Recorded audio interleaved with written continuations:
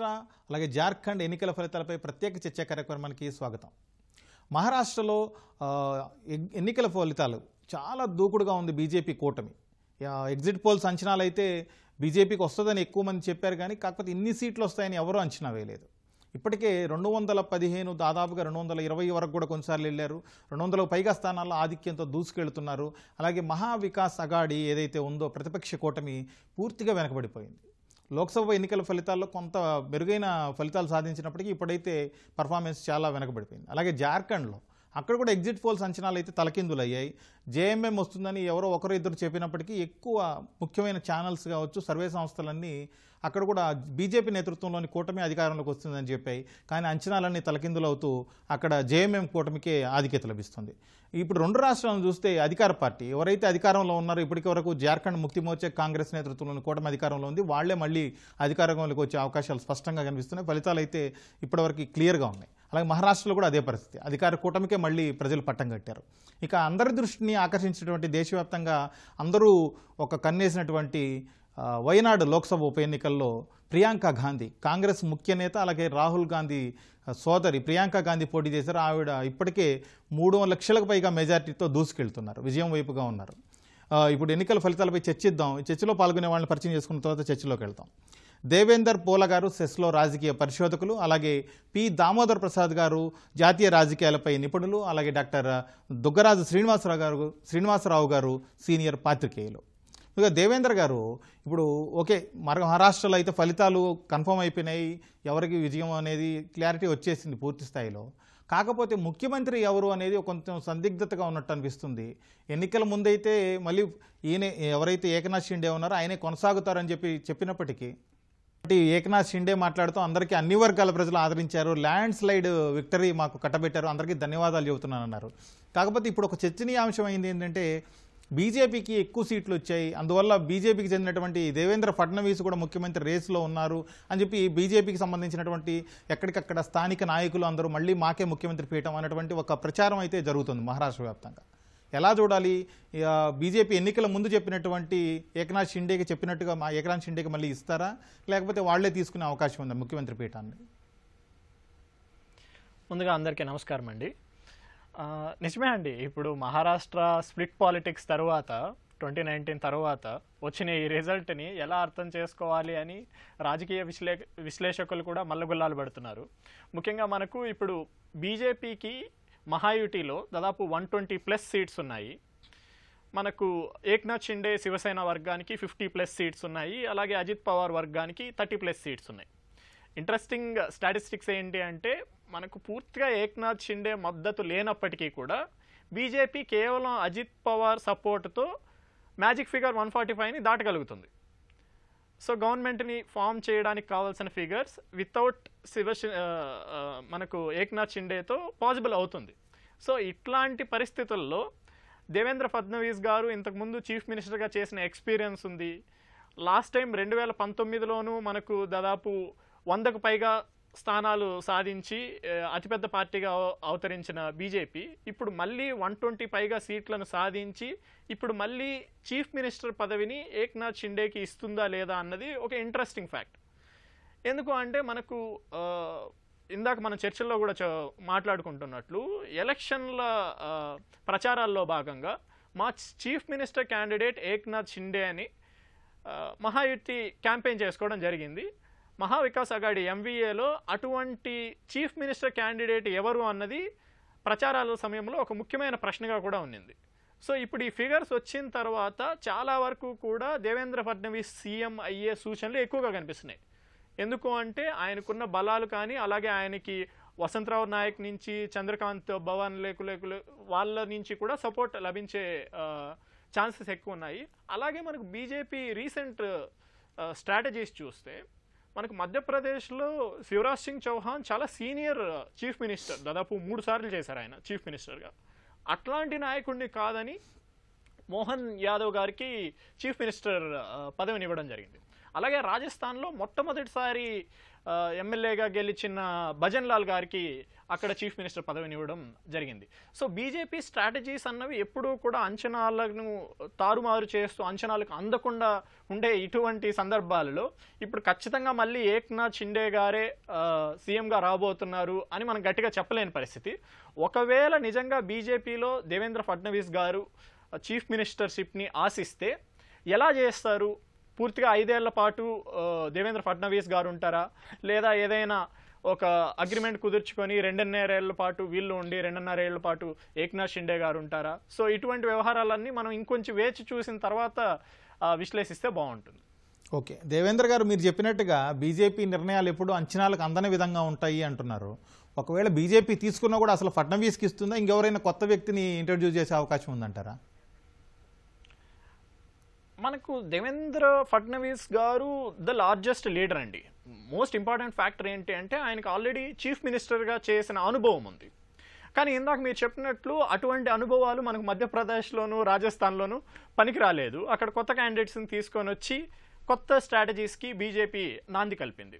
So ఇప్పుడు వసంతరావు నాయక్ కానీ చంద్రకాంత్ భవాన్కులే కానీ నారాయణ రాలే ఇటువంటి సీనియర్ లీడర్స్ అంతా కూడా తమ వర్గాల ద్వారా అలాగే సెంటర్లో ఢిల్లీ పాలిటిక్స్ స్టార్ట్ చేసే వీలైతే ఖచ్చితంగా ఉంది. వాళ్ళ వాళ్ళ వర్గాల బలాల్ని ప్రతిపాదిస్తూ వాళ్ళు వాళ్ళు కూడా చీఫ్ మినిస్టర్స్ని డిమాండ్ చేస్తారు. కానీ బీజేపీకి అతిపెద్ద తలనొప్పి ఏంటి అంటే ఎలక్షన్లకు ముందే ఏక్నాథ్ సిండేని చీఫ్ మినిస్టర్గా అనౌన్స్ చేసిన తర్వాత ఇప్పుడు దేవేంద్ర ఫడ్నవీస్కి కానీ మరి ఏ ఇతర లీడర్కైనా కానీ చీఫ్ మినిస్టర్ పదవి ఇస్తే ఏక్నాథ్ షిండే వర్గాన్ని ఎలా అకామిడేట్ చేయాలి?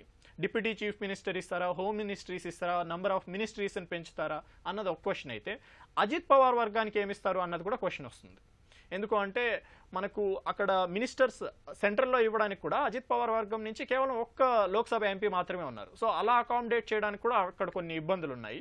సో ఇవన్నీ కూడా ఇంకా కొంచెం వేచి చూసిన తర్వాత పూర్తి ఫలిప ఫలితాలు వెలువడిన తరువాత ఎవరి ప్రసంగాలు ఏ విధంగా ఉంటాయి అన్నదాన్ని బట్టి మనం కొంచెం అంచనా వేయచ్చు. ఓకే.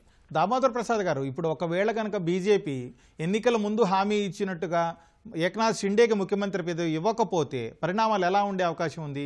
రాజకీయంగా బీజేపీకి ఈ నిర్ణయం ఎలాంటి నష్టాన్ని చేస్తుంది? ఒకవేళ అలాంటి నిర్ణయం తీసుకుంటే. ఇంతటి మహావిజయంలో భారతీయ జనతా పార్టీ కానీ ప్రధాని మోడీ కానీ కేంద్ర నాయకత్వం కానీ అట్లా తొందరపాటు నిర్ణయాలు తీసుకుంటుందని నేను అనుకోను. ఎందుకంటే ఆయన ఏ విధంగా ముందు ప్రకటించినారు కాబట్టి ఒక ఏడాది పాటు మరికొంతకాలము షిండేనే కొనసాగించి తర్వాత ఆయనకు గవర్నర్ పదవో మరొకటో గౌరవప్రదంగా ఒక ప్రత్యామ్నాయం ఏర్పాటు చేసి ఆ విధంగా వాళ్ళని స- సంతృప్తిపరచి తర్వాత ఫడ్నావిస్లో లేదంటే మరి కేంద్రంలో సీనియర్ నాయకులు ఎవరు ఉన్నారంటే గడ్కరీ గారు ఉండే ఉన్నారు ఆయన. ఆయన సీనియర్ నాయకుడు.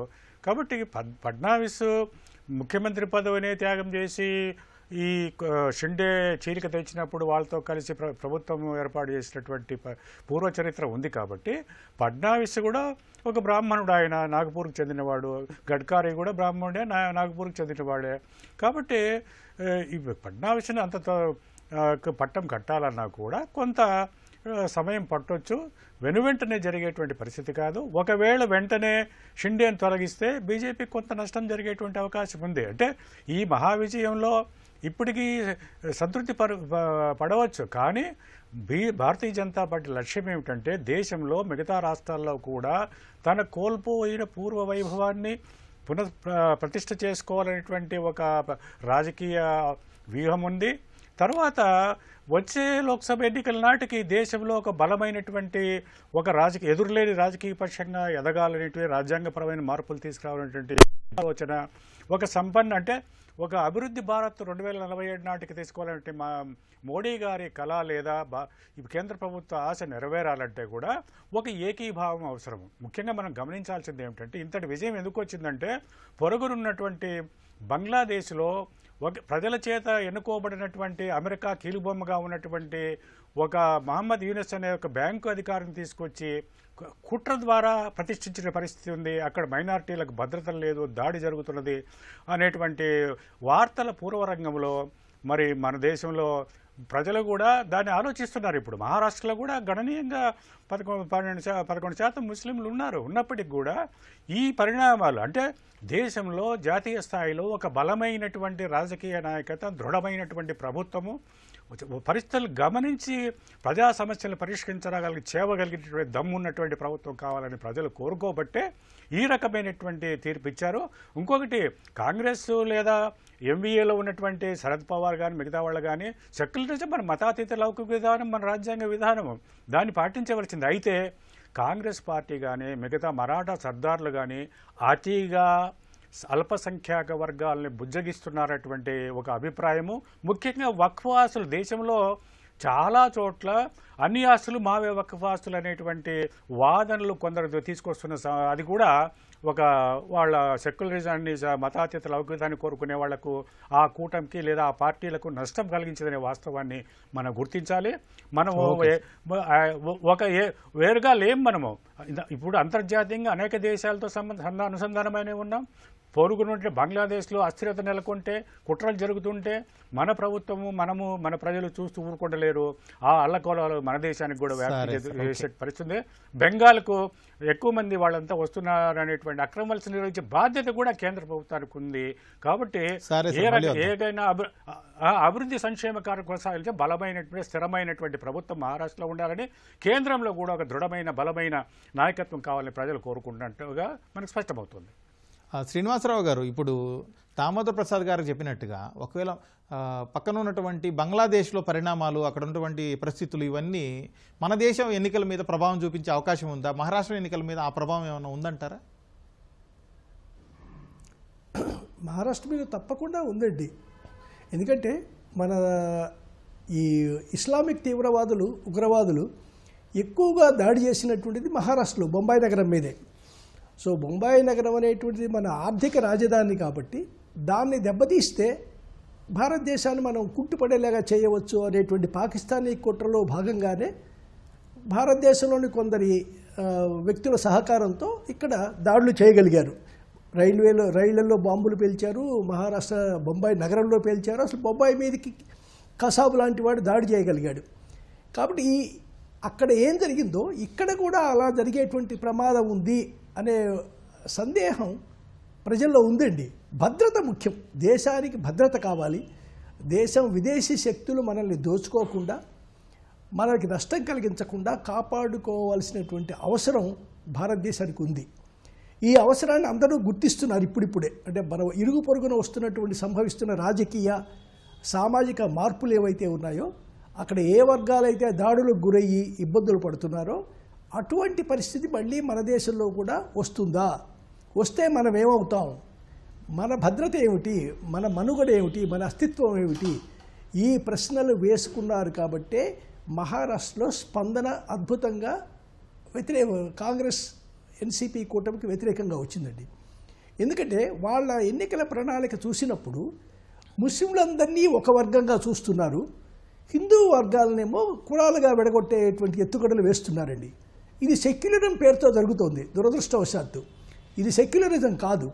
సో సెక్యులరిజం పేరుతో లేదా సెక్యులర్ పార్టీలు అని చెప్పుకునేటువంటి పార్టీలు వేస్తున్నటువంటి ఎత్తుగడ ఏదైతే ఉందో దీన్ని ప్రజలు అర్థం చేసుకున్నారు కాబట్టే మహారాష్ట్రలో ముఖ్యంగా ఎందుకంటే వాళ్ళు భయ ఆల్రెడీ భయంలో ఉన్నారు. ఇంతకుముందు జరిగిన దాడుల వల్ల భయంలో ఉన్నారు. మరొకసారి మా వీధికి మరెవరు దాడి చేయటానికి సాహసించకూడదు. దాన్ని నిరోధించే ప్రభుత్వం మాకు కావాలి అనేటువంటి ఉద్దేశంతోనే బీజేపీకి అంత బలం ఇచ్చారండి. ఈ ఐదు నెలల్లో వచ్చిన మార్పు ఇది. రెండు వేల ఇరవై నాలుగు జూన్లో లేదు ఈ మార్పు ఈ గెలుపు ఇంత గెలుపు లేదు బీజేపీకి. సో ఐదు నెలల్లో ఎందుకు మార్పు వచ్చింది అంటే ప్రతిపక్షాలు చేస్తున్నటువంటి వ్యతిరేక ప్రచారం. అది మోడీ మీద వ్యక్తిగతంగా చేస్తున్నటువంటి ప్రచారం కానివ్వండి బీజేపీ మీద రాజకీయంగా చేస్తున్నటువంటి ప్రచారం కానివ్వండి ఇది ప్రజలు గమనిస్తున్నారు. చుట్టుపక్కల. ఇంత గోల జరుగుతున్నా శ్రీనివాసరావు గారు మీరు అన్నట్టుగా ఐదు నెలల ముందు ఎప్పటి నుంచో వీళ్ళు ఎప్పుడు ప్రతిపక్షాలు కాంగ్రెస్ కావచ్చు ఇతర పక్షాలు ఎప్పటి నుంచో మోడీ కావచ్చు బీజేపీ విషయంలో ఒకేలాగా ప్రవర్తిస్తున్నాయి. అప్పుడంతా గమనించని ప్రజలు ఈ ఐదు నెలల్లోనే ఎందుకు అంత మార్పు జరిగింది ఎందుకు అంత నిర్ణయం మార్చుకున్నారంటారు? అంటే బంగ్లాదేశ్ పరిణామాలు చెప్తున్నాం కదా. బంగ్లాదేశ్లో జరుగుతున్నటువంటి పరిణామాలు పాకిస్తాన్లో జరుగుతున్నటువంటి పరిణామాలు తాజాగా అమెరికాలో కూడా. అంటే భారతదేశపు ఎదుగుదలని అంగీకరించినటువంటి అగ్రరాజ్యాలని మోడీ ఎదుర్కోవాల్సిన పరిస్థితి వచ్చిందండి. సో కాబట్టి బంగ్లాదేశ్లోనేమో మైనారిటీల మీద జరుగుతున్నటువంటి దాడులు మిగతా పాకిస్తాన్లో సరే మనకు తెలిసిన శత్రువు పాకిస్తాన్ చైనా సర్దుబాట్లు చేసుకుంటోంది. సో చైనా నుంచి బయటకు వచ్చేటువంటి పరిశ్రమలు ఏవైతే ఉన్నాయో పెట్టుబడులు ఏవైతే ఉన్నాయో అవి భారతదేశం వైపు రావాలి అంటే స్థిరమైనటువంటి ప్రభుత్వం ఇక్కడ ఉండి తీరాలండి. శాంతి భద్రతల పరిస్థితి అదుపులో ఉండి తీరాలి. కాబట్టి ఇవి ఆర్థికమైనటువంటివి సామాజికమైనటువంటివి అంతర్జాతీయమైనటువంటి అంశాలని ప్రజలలోకి తీసుకువెళ్ళటంలో కృషి జరిగిందండి. బీజేపీ తరపు నుంచి కృషి జరిగింది. ఓకే. శ్రీనివాసరావు గారు అయితే ప్రజలు నిజమేనేమో మీరు అంటున్నట్టుగా అంతర్జాతీయ అంశాలు ఇతరత్ర ఆర్థిక అంశాలు ఇవన్నీ ప్రభావితం చేశాయి అంటున్నారు. అయితే ఇవి జాతీయ స్థాయి ఎన్నికలు కాదు. ఒక రాష్ట్రానికి సంబంధించిన ఎన్నికల్లో లోక్సభ ఎన్నికల్లో ఆ అంశాలు ప్రభావితం చేయలేదు. కానీ ఒక రాష్ట్రానికి సంబంధించిన అంశాల్లో మీరు చెబుతున్న అంశాలు ఎలా ప్రభావితం చేశాయంటారు? అంటే మహారాష్ట్ర బాధిత దేశ రాష్ట్రం అండి. సో ఉగ్రవాదులు చేసేటువంటి దాడుల్లో అధిక శాతం అక్కడే జరిగాయి. సో బొంబాయికి జరిగిన బాంబు పేలుళ్ళకి కారణం ఆ తీరం ప్రదేశం నుంచి వచ్చినటువంటివి. సో అక్కడ ఉన్నటువంటి జనాభాలో అధిక శాతం ప్రోపాకిస్తానీగా ప్రవర్తిస్తున్నటువంటి జనాభా కూడా ఉంది అక్కడ. సో పలు దశాబ్దాలలో పలు సందర్భాలలో వాళ్ళు బాధితులు అక్కడ. ఉగ్రవాద బాధితులు. అదేవిధంగా మత ఘర్షణలు దొరికి కేంద్రమైనటువంటి భివాండి కానివ్వండి మిగతా కేంద్రాలు కూడా అక్కడే ఉన్నాయి. సో కాబట్టి ఒక అప్రమత్తత అంటే ఒక వర్గం మీద చెప్పడం కాదు కానీ అంతర్జాతీయంగా జరుగుతున్నటువంటి కుట్రలు. ఇది ఒక పారిశ్రామిక రాష్ట్రం. మన దేశంలో బాగా అత్యధికంగా పరిశ్రమలు ఉన్నటువంటి రాష్ట్రం. ఆర్థికంగా చాలా ముందున్నటువంటి రాష్ట్రం. కాబట్టి ఇవన్నీ కూడా ప్రభావితం అవుతాయి. ఆర్థికంగా పరిశ్రమలు పెట్టుబడులు ఉద్యోగ కల్పన వీటన్నిటికీ మహారాష్ట్ర కీలకం కాబట్టి సరే సార్. ప్రజలు అర్థం చేసుకో ఓటర్లు అర్థం చేసుకోగలుగుతున్నారు. మన భద్రత అన్ని రకాలుగా. ఒక భౌతిక భద్రతే కాదు అంటే శారీరక భద్రతే కాదు. సో ఆర్థికమైనటువంటిది విదేశీ శక్తుల యొక్క ప్రభావం ఈ విషయాలన్నీ అర్థం చేసుకోవడం అనేటువంటిది అర్బన్ సెంటర్ పైగా. మహారాష్ట్రలో ఎక్కువ భాగం పట్టణాలు బాగా అధికంగా ఉన్నటువంటి ప్రదేశం. నిజానికి ఇంత ఫలితం రాకూడదు స్థానిక అంశాలు కనుక ప్రభావితం చూపిస్తే బీజేపీకి ఇంత విజయం రాకూడదండి. ఎందుకంటే అక్కడ రైతులు చాలా ఆందోళనలో ఉన్నారు. రైతులకు ఉత్ప గిట్టుబాటు ధర కట్టట్లేదు దొరకట్లేదు. సో అదే అలాంటి స్థానిక అంశాలను వదిలి స్థానిక అంశాలను పట్టించుకోకుండా అలాగే మరాఠా రిజర్వేషన్ ఉద్యమం ఉంది. ఇలాంటి అంశాలను వదిలి కూడా బీజేపీ వైపు ఓట్లు వచ్చాయి అంటే తప్పనిసరిగా జాతీయ అంతర్జాతీయ అంశాలు ప్రభావితం చూపించాయనే మనం. అనుకోవాల్సి వస్తుందండి. ఓకే. దేవేంద్ర గారు ఇప్పుడు రెండు రాష్ట్రాల్లో మహారాష్ట్రలో అయినా జార్ఖండ్లో అయినా అధికార పార్టీలే మళ్ళీ అధికారంలోకి వచ్చాయి. ఏంటి? సహజంగా అధికారంలో ఉన్న వాళ్ళకి ప్రభుత్వ వ్యతిరేకత ఉంటుంది. ఆ వాటన్నిటిని తట్టుకొని ఎలా రెండు చోట్ల అధికార పార్టీలు అధికార కూటములు నిలబడగలిగాయి? ఒకటండి మనకు ఇందాక చెప్పుకున్నట్లు ఈ యాంటీ ఇన్కంబెన్సీని దాటడానికి మామూలుగా పార్టీలు ప్రయోగించే ప్రధాన అంశం ఏంటి అంటే ఓటు బ్యాంకుని వ్యతిరేక ఓటు బ్యాంకుని చీల్చడం. దాన్ని ఎంతవరకు చీలిస్తే ఆల్రెడీ పవర్లో ఉన్న పార్టీకి అంత బెనిఫిట్ అవుతుంది. మనకు మహారాష్ట్రలో sympathy vote bank Uddhav Thackeray వర్గానికి అలాగే శరద్ పవార్ వర్గానికి ఉన్న సింపతి ఓట్ బ్యాంక్ని కన్సాలిడేట్ కాకుండా బీజేపీ చాలా గొప్ప స్ట్రాటజీ ప్లే చేసింది. మనకు ప్రతి రీజియన్లోనూ ఎస్పెషల్లీ ఈ కాస్ట్ బేస్డ్ ఓ పాలిటిక్స్ని ప్లే చేసి కన్సాలిడేషన్ చేసుకొని అలాగే వ్యతిరేక ఓట్ బ్యాంక్ ఏదైతే ఉందో యాంటీ ఇన్కంబెన్సీ ఏదైతే ఉందో దాన్ని కన్సాలిడేట్ చేయకుండా ఆపగలిగింది. ఫర్ ఎగ్జాంపుల్ ఎప్పుడైతే మరాఠా ఇష్యూ బీజేపీకి మహాయుతికి వ్యతిరేకంగా బలపడిందో వెంటనే దానికి రీప్లేస్మెంట్గా ట్రెడిషనల్గా మనకు మహారాష్ట్రలో బీజేపీకి ఓబీసీ ఓట్ బ్యాంకు స్ట్రాంగ్గా ఉండేది. కానీ ఎప్పుడైతే ఈ కాస్ట్ సెన్సెస్ని ఐఎన్సీ ముందుకు తీసుకొని వచ్చిందో వెంటనే అలాగే లోక్సభ ఎలక్షన్ల తరువాత బీజేపీ తన స్ట్రాటజీస్ని ఇంప్లిమెంట్ చేయడం స్టార్ట్ చేసింది. ముఖ్యంగా ఓబీసీ ఓ ఓట్ కన్సాలిడేషన్లో భాగంగా మాలీస్ వెస్టర్న్ మహారాష్ట్రలో ఉన్న మాలీస్ని కానీ అలాగే మనకు మరట్వాడా రీజియన్స్లోని వంజారీస్ని కానీ ధన్కర్స్ ఇటువంటి ఓబీసీ ఓట్ బ్యాంక్ని కన్సాలిడేట్ చేసుకో కన్సాలిడేట్ చేసుకోగలిగింది. అలాగే దళిత్స్లో మాతంగ్స్ చంబార్స్ అలాగే కాంతిక్స్ వీళ్ళందరూ దళిత్స్లో బీజేపీకి కొంచెం సపోర్ట్ ఇస్తున్న ఓట్ బ్యాంక్. వెరాజ్ మనకి దళిత్స్లో ట్రెడిషనల్గా ఎవరైతే లార్జ్ చంక్స్ ఉన్నారో మహర్స్ కానీ నియో బుద్ధిస్టులు కానీ వీళ్ళు ఒకవైపు ఏమో ప్రకాష్ అంబేద్కర్ అలాగే రిపబ్లిక్ పార్టీ దాంతోపాటు ఐఎన్సీకి ఇలా చీలిక ఎక్కువైపోయింది. అలాగే మనకు ఐఎన్సీకి ట్రెడిషనల్గా ఉన్న గిరిజన ఓట్ బ్యాంక్లో కూడా ఫర్ ఎగ్జాంపుల్ మనకు కందేశ్ ప్రాంతంలో నార్థన్ మహారాష్ట్ర ప్రాంతంలో గావిడ్స్ కానీ పడావీస్ కానీ ట్రెడిషనల్గా ఐఎన్సీకి సపోర్ట్ ఇచ్చే వర్గాలు వీళ్ళు. కానీ ఇక్కడ కూడా బీజేపీ చొచ్చుకు వెళ్ళి వాళ్ళ ఓట్ బ్యాంక్లో కూడా చీలుకు తీసుకొని రాగలిగింది. అలాగే లీడర్షిప్ పాలిటిక్స్. మనకు లోక్సభ ఎల్ ఎ- ఎలక్షన్లకి అసెంబ్లీ ఎలక్షన్లకి ఇంత డ్రాస్టిక్ చేంజ్ ఎందుకు వచ్చింది అంటే యాక్చువల్గా మనకి ఇది ప్రజాస్వామ్యంలో ఇంత డ్రాస్టిక్ సిక్స్ మంత్స్లో రావడం అన్నది అంత మంచి సంకేతం అయితే నేను అనుకోవట్లేదు. రెండు వందలకు పైగా ఇక్కడ అంటే more than nearly seventy seventy five percent seats అన్నవి ఇక్కడ బీజేపీ మహాయుతి కూతంకి వచ్చాయి. బట్ లోక్సభ ఎలక్షన్స్లో మనకు thirty one out of forty eight అంటే sixty percent sixty plus percentage seats అన్నవి మనకు ఎంవీఏకి వెళ్ళాయి. సో ఇంత డ్రాస్టిక్ చేంజ్ రావడానికి మొదటి రీజియన్ లీడర్షిప్ లేకపోవడమే.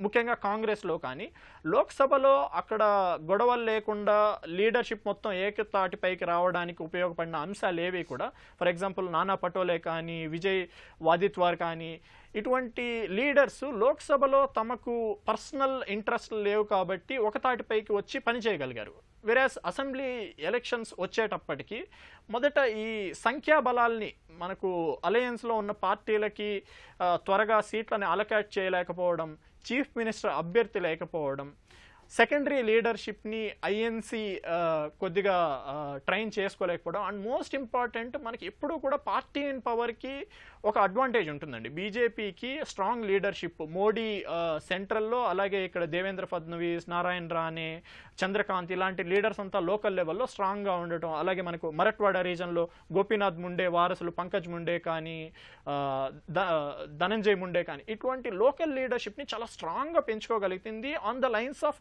caste and identity. ఐఎన్సీకి ఇది వర్కౌట్ అవ్వలేదు. సిక్స్ మంత్స్లో ఈ డ్రాస్టిక్ చేంజ్ వచ్చింది ఎందుకు వచ్చింది అంటే ఈ స్ప్లిట్ పాలిటిక్స్ అనేది ఓన్లీ పార్టీల్లోనే కాదు. కమ్యూనిటీస్లోను కాస్ట్లోను ఐడెంటిటీ పాలిటిక్స్లో కూడా బీజేపీ చాలా ఎఫెక్టివ్గా ఇంప్లిమెంట్ చేసింది. ఇదే స్ట్రాటజీని జార్ఖండ్లో కూడా ఇంప్లిమెంట్ చేయడానికి ట్రై చేసింది.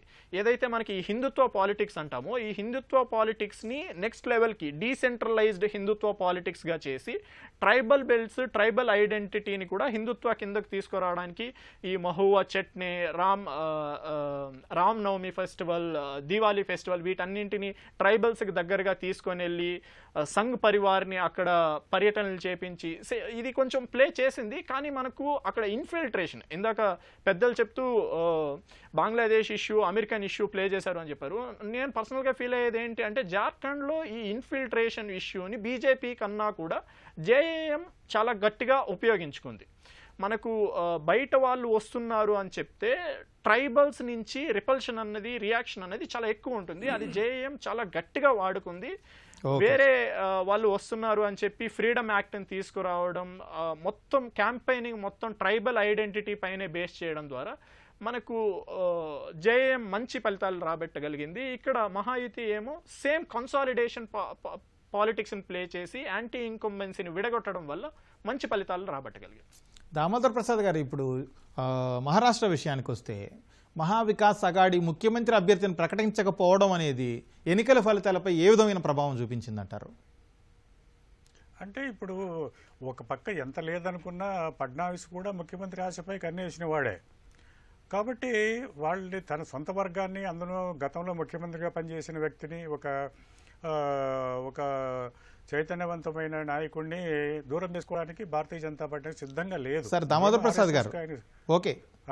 BJP okay. నేను అడుగుతుంది మహావికాస్ అగాడిలో ఈ కూటమి ఎన్సీపీ శరద్ పవార్ అలాగే కాంగ్రెస్ ఉద్ధవ్ ఠాక్రే శివసేన ఎవరైతే ఉన్నారో వాళ్ళు ముఖ్యమంత్రి అభ్యర్థిని ప్రకటించకపోవడం అనేది ఈ ఎన్నికల ఫలితాల మీద ఏ విధమైన ప్రభావం చూపించింది?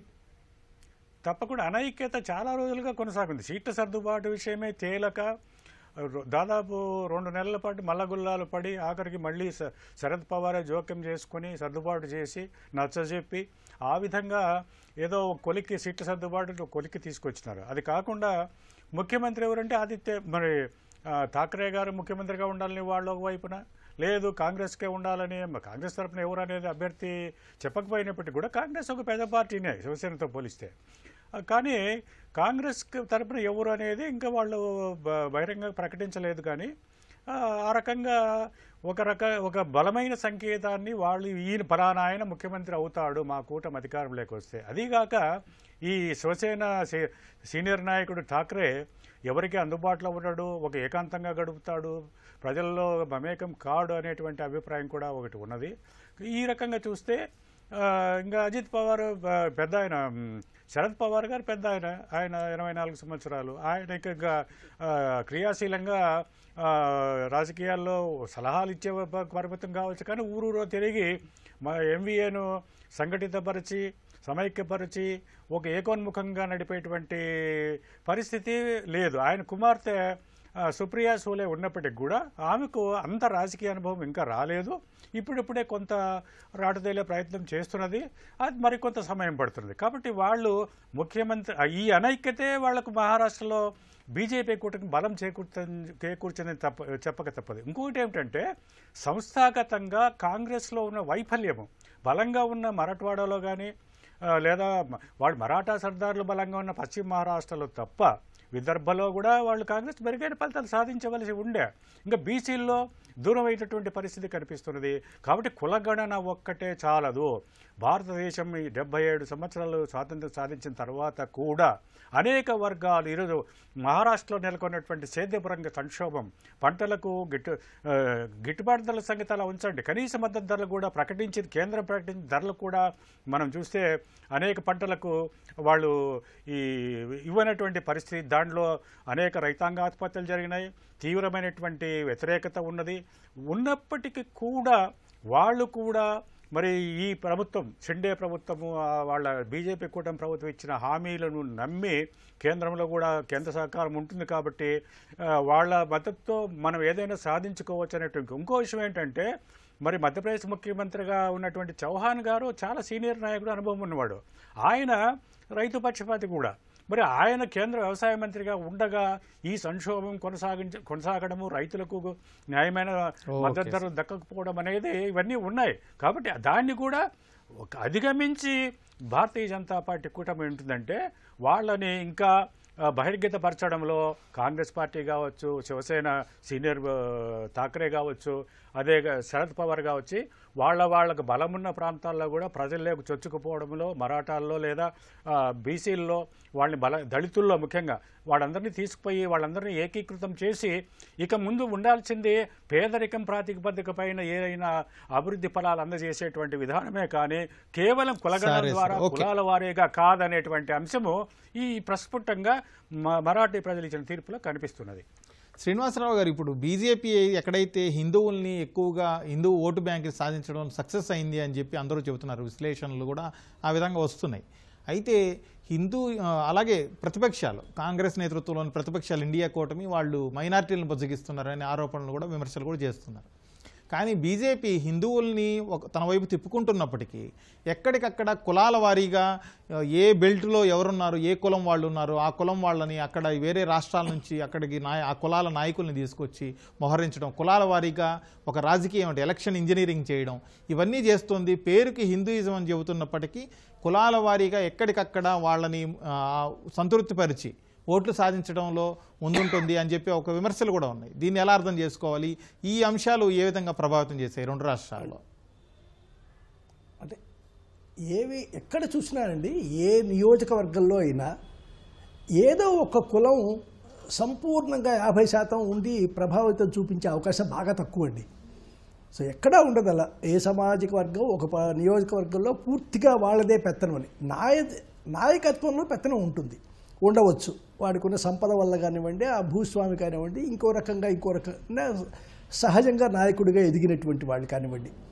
ఇక రెండోది ఏమిటంటే ఇప్పుడు వర్గాల్లో ఉండే భేదాలు ఏవైతే ఉంటాయో ఒక పర్టికులర్ సామాజిక వర్గం పెత్తం పెత్తనం చెలాయిస్తున్నప్పుడు మిగతా వాళ్ళకి ఎప్పటి నుంచో కొంచెం కంటకింపుగా ఉంటుంది. ఎంతకాలం వాళ్ళ పెత్తనం కిందే మనం నడవాలా అనేటువంటిది. అలాంటి చోట్ల బీజేపీ తెలివిగా మరొక వర్గాన్ని ముందుకు తీసుకొచ్చి మరొక ప్రత్యామ్నాయ నాయకత్వాన్ని ఇవ్వడం చేస్తుంది. అది సరైనదా కాదా? అంటే రాజకీయంగా సరైనదే. సామాజికంగా దాని ప్రభావం తర్వాత తర్వాత కాలంలో ఎలా ఉంటుంది అనేటువంటిది కొంచెం జాగ్రత్త పడాల్సిన విషయం అండి.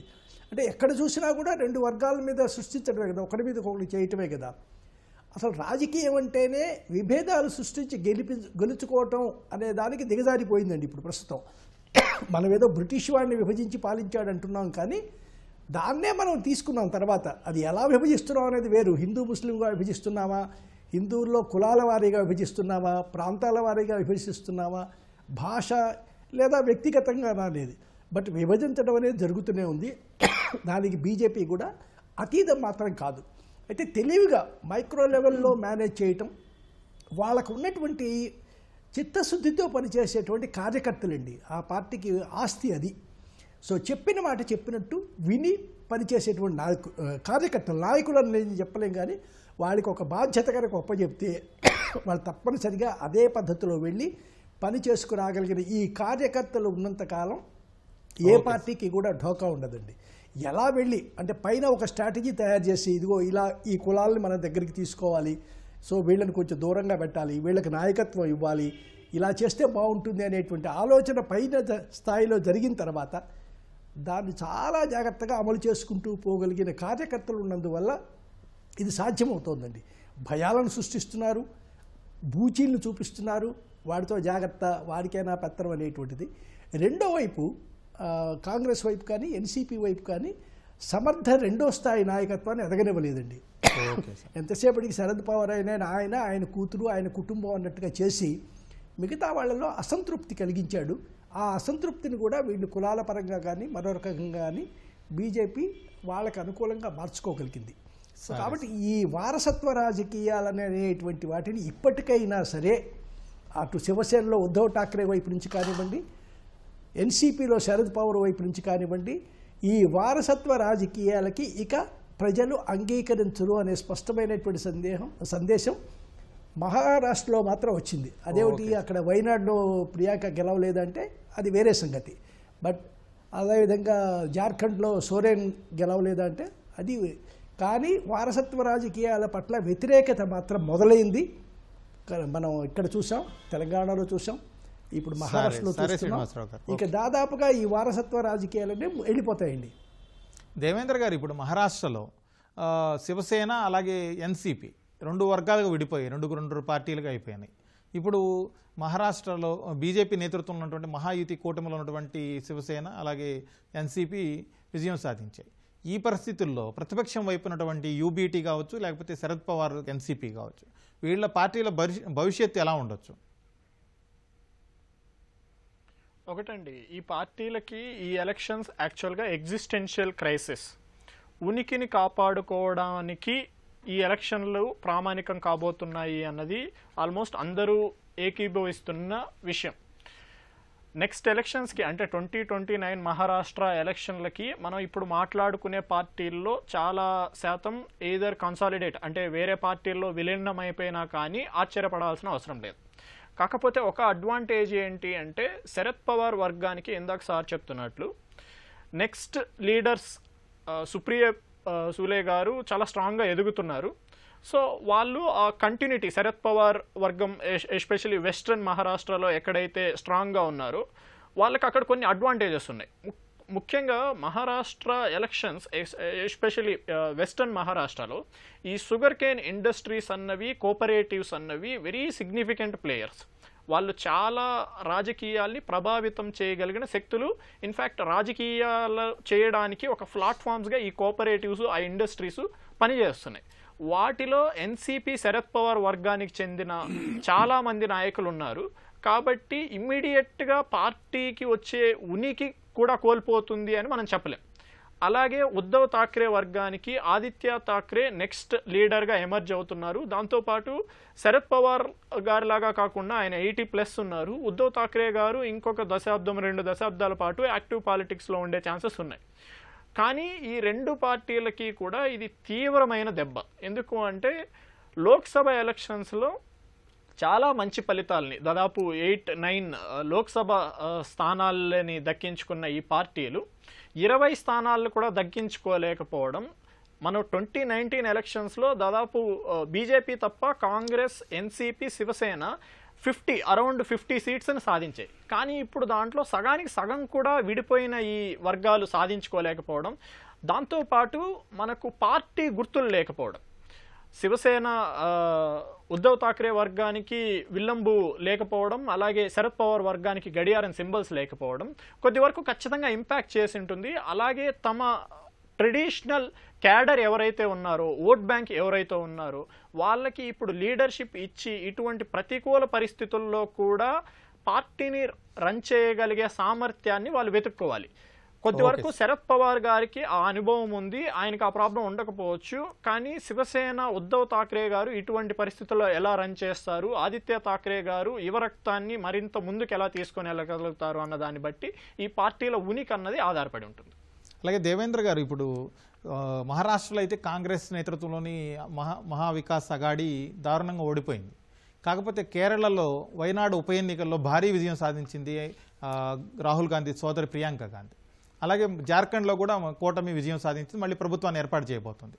ఈ ఓటమిని అక్కడ విజయాలు ఏ విధంగా బ్యాలెన్స్ అవుతాయి? కాంగ్రెస్కి ఏ విధంగా కొంత గుడ్డులో మెల్లలాగా ఒక ఉత్సాహాన్ని నింపుతాయి? వాళ్ళకు ఒక స్థైర్యాన్ని ఇస్తాయంటారు.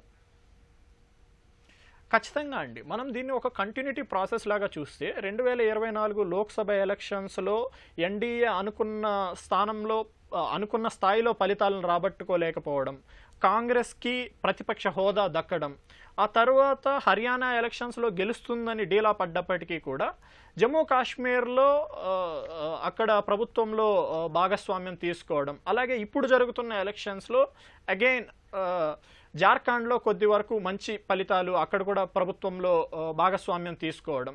దాంతోపాటు ఇప్పుడు ఒక సిగ్నిఫికెంట్ ఫ్యాక్టర్ మీరు చెప్పినట్లు ప్రియాంక గాంధీ గారిని రెండు వేల ఇరవై తొమ్మిది ఎలక్షన్స్లో ప్రొజెక్ట్ చేసుకోవడానికి లోక్సభలో కూడా తన గలాన్ని ఆమె గట్టిగా వినిపించగలగదు. ఇన్ఫ్యాక్ట్ మనం చెప్పాలి అంటే ఇందిరా గాంధీ గారిని గుర్తు చేయగలిగే నాయకురాలుగా ఎదిగే ఛాన్సెస్ చాలా పుష్కలంగా ఉన్నాయి. కానీ రాహుల్ గాంధీ గారికి ఎంతవరకు సపోర్ట్ చేయగలుగుతుంది? ఈమె మేనియా అన్నది ప్రజల్లో ఎంతవరకు చొచ్చగలుగుతుంది అన్నది ఒక సిగ్నిఫికెంట్ ఫ్యాక్టర్ అండి. దాంతోపాటు ఈరోజు మనం కేవలం మహారాష్ట్ర జార్ఖండ్ నాందేడ్ నాందేడ్లో మనకు బీజేపీ నాందేడ్ లోక్సభ స్థానంలో అగైన్ బీజేపీ మనకు ముందంజలో ఉంది. దాంతోపాటు బై ఎలక్షన్స్లో దాదాపు నలభై ప్లస్ అసెంబ్లీ స్థానాలకు ఎలక్షన్స్ జరుగుతూ ఉంటే ఒక సిగ్నిఫికెంట్ ఫ్యాక్టర్ ఏంటి అంటే మనకు పంజాబ్లో ఉప ఎన్నికలు జరుగుతున్న అన్ని స్థానాల్లో కూడా మనకు ఆమ్ ఆద్మీ పార్టీ గెలవబోతుంది అని ఇండికేషన్స్ చెప్తున్నాయి. సో మనకు విత్ ఇన్ టూ త్రీ మంత్స్లో ఢిల్లీ ఎలక్షన్స్ ఉన్నాయి కాబట్టి ఇన్ఫ్యాక్ట్ మనకు అక్కడ ఆమ్ ఆద్మీ పార్టీ నిన్న పన్నెండు మంది సభ్యులతో ఫస్ట్ లిస్ట్ని కూడా రిలీజ్ చేసింది. అక్కడ డిఫెక్షన్ పాలిటిక్స్ కూడా స్టార్ట్ అయిపోయాయి. సో మనకు మనం హిస్టారి కొంచెం వెనక్కి వెళ్ళి చూసుకుంటే కర్ణాటక రిజల్ట్స్ తెలంగాణలో కాంగ్రెస్కి ఎంత బుల్డోజింగ్ పవర్ ఇచ్చిందో తెలుసు. సో ఇప్పుడు పంజాబ్లో వచ్చిన ఆ బై ఎలక్షన్సే అయినప్పటికీ కూడా దాని ఇంపాక్ట్ ఖచ్చితంగా ఢిల్లీ పైన ఉంటుంది. అట్ ద సేమ్ టైం బీజేపీకి మహారాష్ట్రలో ముఖ్యంగా ముంబై ఆ, లో మంచిగా పర్ఫామ్ చేయడం అనేది బూస్టప్ అవుతుంది. సో ఈ పరిణామాలన్నవి ఖచ్చితంగా నేషనల్ పాలిటిక్స్ పైన చాలా కీలకమైన ఫలితాన్ని అయితే చూపించబోతుంది. కానీ ఇప్పుడు మనకు జరిగిన బై ఎలక్షన్స్లో చూసుకుంటే కర్ణాటక అలాగే పంజాబ్ రాజస్థాన్లో కాంగ్రెస్ కొంచెం వరకు బలంగా పుంజుకున్నప్పటికీ కూడా మనకు బై ఎలక్షన్స్లో బీజేపీ అగైన్ బీహార్లో బాగా పర్ఫామ్ చేసింది. నెక్స్ట్ ఎలక్షన్స్ మనకు బీహార్లో ఉన్నాయి. అక్కడ జేడీయూ బీజేపీ క్లీన్ స్వీప్ చేస్తుంది బై ఎలక్షన్స్లో దాంతోపాటు యూపీలో మనకు చాలా వరకు ఎస్పీ గెలిచింది లోక్సభ ఎలక్షన్స్లో ఇప్పుడేమో మళ్ళీ తిరిగి బీజేపీ ఐదు స్థానాల్లో గెలిస్తే ఎస్పీ మూడు స్థానాలు బై ఎలక్షన్స్లో గెలుస్తుంది. దాంతోపాటు అస్సాం మిగిలిన వాటన్నింటిలో కూడా బీజేపీ పశ్చిమ TMC మళ్ళీ తీసుకొని వెళ్తుంది యా, పశ్చిమ బెంగాల్లో టీఎంసీ వచ్చింది. అవునండి పశ్చిమ బెంగాల్ సో ఇండియా కూటమికి ఎన్డీఏ కూటమికి రెండిటికి కూడా ప్లస్లు మైనస్లు ఉన్నాయండి. కానీ ఖచ్చితంగా మహారాష్ట్ర ఎలక్షన్స్ అన్నవి ఈ మోడీ మార్క్ ఎండ్ అయిపోయింది బీజేపీ యాంటీ ఇన్కంబెన్సీ స్టార్ట్ అయిపోయింది అని చెప్తున్న ఒక వేవ్కి ఇది ఒక పెద్ద బ్యాక్వర్డ్ స్టెప్గా మనం చెప్పుకోవచ్చు. అలాగే ఇందాక మనం మాట్లాడుకుంటున్నట్టు కూడా ఎన్డీఏలో మిగిలిన పార్టీల్ని ఎంతవరకు సమన్వయం చేసుకోగలుగుతుంది కాంగ్రెస్? హర్యానాలో అక్కడ ఆప్ని కలుపుకోలేకపోవడం వల్ల చాలా వరకు దెబ్బతింది. ఇక్కడ యాంటీ ఇన్కంబెన్సీని సరిగా వాడుకోలేకపోయింది. అలాగే పూర్తిగా ఫ్రీ బీస్ పైన డిపెండ్ అవడం వీటి వల్ల కొంచెం దెబ్బ ఉంది. సో రెండిటి అంటే ఇండియాకి ఎన్డీఏ కూటమికి రెండిటికి కూడా చాలా ముఖ్యమైన ఇన్సైట్స్ అన్నవి ఈ ఎలక్షన్స్ నుంచి తీసుకోవాల్సిన అవసరం ఉంది. దామోదర్ ప్రసాద్ గారు ఇప్పుడు ఈ ఎన్నికల ఫలితాలు మహారాష్ట్ర జార్ఖండ్ అలాగే కొన్ని రాష్ట్రాలు జరిగినటువంటి ఉప ఎన్నికల ఫలితాలు ఇవి వచ్చే ఢిల్లీ అలాగే బీహార్ ఎలక్షన్ల మీద ఏ విధంగా ప్రభావం చూపిస్తాయంటారు? అసలు ఈ ప్రభావం అక్కడ ఉంటుందా? ఢిల్లీ పైన కంటే కూడా బీహార్లో తప్పకుండా జార్ఖండ్ ఎన్నికల ప్రభావం పక్కనే అక్కడి నుంచి విడిపోయినటువంటి రాష్ట్రం కనుక అదీగాక ఆదివాసీ రాష్ట్రం అంటున్నారు కానీ ఇరవై ఆరు శాతం గిరిజనులు ఆదివాసులు ఉన్నప్పటికీ కూడా అది గణనీయమైన విజయం. ఎందుకంటే ఒక ముఖ్యమైన అంశం ఏమిటంటే ఆర్జేడి లాలూ ప్రసాద్ లేదా ఇప్పుడు ఆయన కుమారుడు నాయకత్వంలో ఉన్నటువంటి రాష్ట్రీయ జనతాదళ్ అనేది బలంగా ఉన్నటువంటి పార్టీ. అది కాకుండా సిపిఐఎంఎల్ కాంగ్రెస్ వీటన్నిటితో కూడినటువంటి ఒక అక్కడ మహాగఠబంధన్ అనేది కొంచెం బలంగా ఉన్నటువంటి పరిస్థితి కనిపిస్తుంది. మరి భారతీయ జనతా పార్టీకి గట్టిగా ఢీకొనగలిగిన రాష్ట్రం బీహారే. అది కాకుండా ముఖ్యమంత్రి నితీష్ పలుమార్లు పిల్లి మొగ్గలు వేయడం అక్కడి నుంచి ఇక్కడికి ఇవన్నీ చేయడం అనేది కూడా చాలా మందిలో అసంతృప్తి ఉంది. ఆయన కూడా వయసు అవుతున్నది. మొన్న తన వయసు వాడైనటువంటి తనకంటే ఒకటి రెండేళ్ళు పెద్దవాడు ఉండొచ్చు కాళ్ళను పాద నమస్కారం చేయడం అనేది కూడా చూసాం మనం. అంటే పెద్దలను నమస్కరించడం ఉత్తరాదిలో ఒక సత్సాంప్రదాయమే.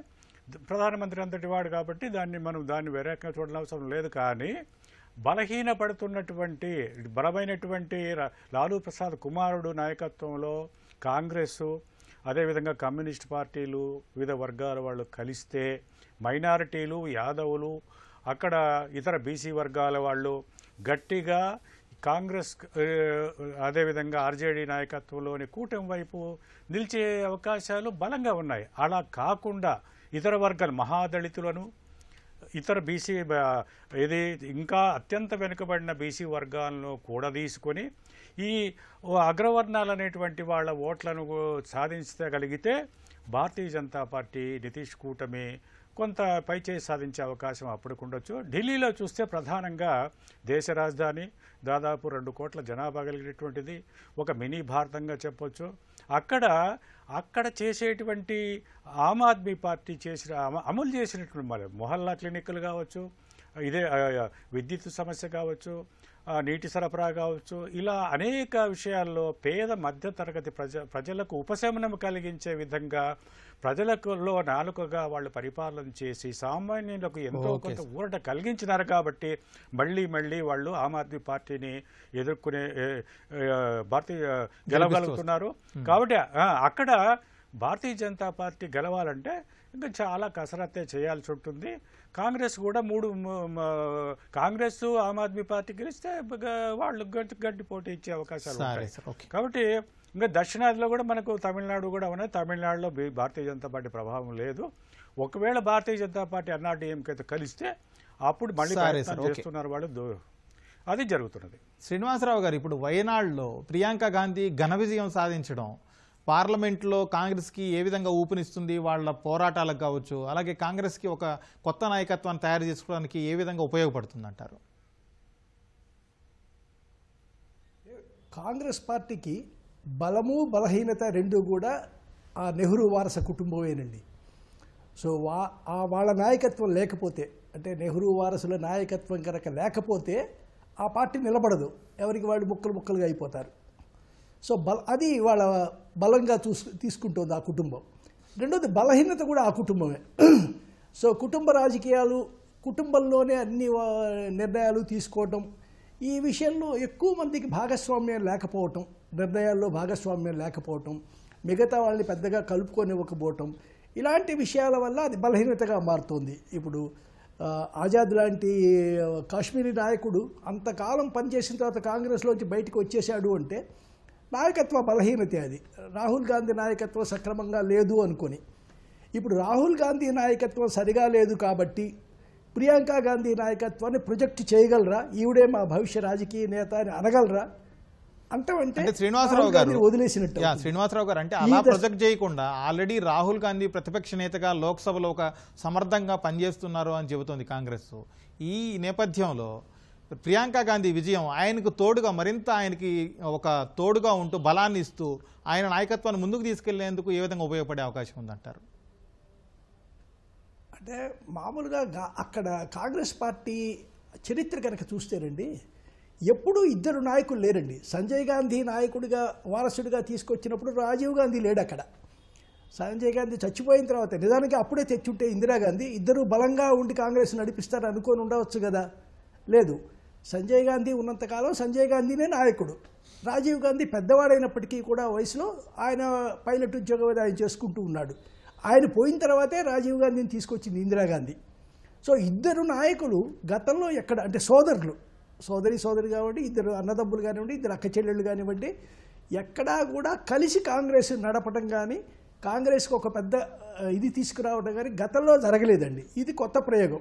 ఇప్పుడు సోనియా గాంధీ మేనకా గాంధీ ఇద్దరు కోడళ్ళే కానీ ఇద్దరు కలిసి ఏమి చేయలేకపోయారు కలిసి నడిపించలేకపోయారు. ఇప్పుడు వీళ్ళిద్దరూ వాళ్ళకన్నా మేము భిన్నం. మేము ఇద్దరం చాలా కోసీగా ఉంటాం మేము ఇద్దరం స్నేహితుల్లాగా ఉంటాం అనుకొని వస్తున్నారు. బాగానే ఉంది. ఇమేజ్ ప్రస్తుతానికి మాత్రం బాగానే ఉంది. సో ఇద్దరూ కలిసి నడపటం అనేటువంటిది సాధ్యమా? గ్రూపిజం రాకుండా ఉంటుందా? ఆవిడ వైపు కొందరు ఇతని వైపు సజయ్ రాజీవ్ రాహుల్ గాంధీ వైపు కొందరు ప్రియాంక గాంధీ వైపు కొందరు నాయకులు సర్దుబాటు చేసుకుంటే అంతర్గత ఎలా వస్తుంది? సో సోనియా గాంధీ.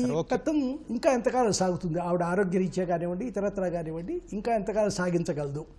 సో ఈ విధంగా చూసినప్పుడు ఒక రకంగా బలం ఇద్దరు ఉండి లోక్సభలో ఒకరి తర్వాత ఒకళ్ళు మాట్లాడటం మోడీని మీద దాడి చేయటం మాటలు దాడి చేయటం సో పార్టీని ఎత్తి చూపటాలు లోపాలు ఎత్తి చూపటాలు అలా చూసినప్పుడు ఓకే. కానీ ఇప్పటి వరకు కూడా ఒక బొమ్మలాగా ఉందే తప్పించి ఆవిడ సమర్థవంతమైన వాదన చేసే. పద్ధతి ఆవిడలో